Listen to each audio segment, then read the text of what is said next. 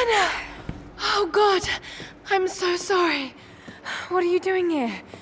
I saw the gutter press was attacking you again. I thought you could use some company. No lies. Were you followed? Followed? Of course not. What's going on? I think I found the tomb. Oh, you can't be serious. The myth of the Prophet is real. Dad was right. Lara, your father was... unwell. No, he was close to a great discovery, tangible evidence of the immortal soul. I loved Richard. I would have married him if he'd asked. But he was a broken man. I don't want to see you end up like him. But Ana, he was right. It was everyone else who was wrong. The tomb's in Syria. Syria? Oh God, Lara, no. This is madness. Get your life sorted. Go home to the manor.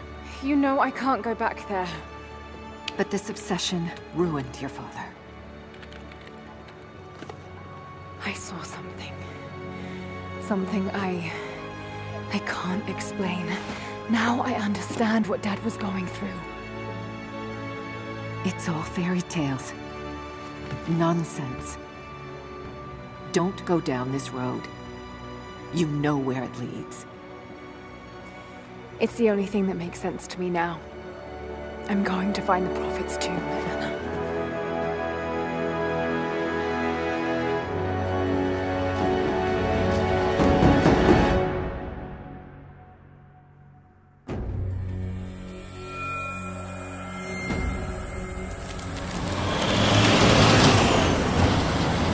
Hey, we're heading into a war zone now. We better be sure about this. We're close. There should be an oasis in the canyon just ahead. You're wasting your time. There's nothing out here. Just keep driving, please. It's your money.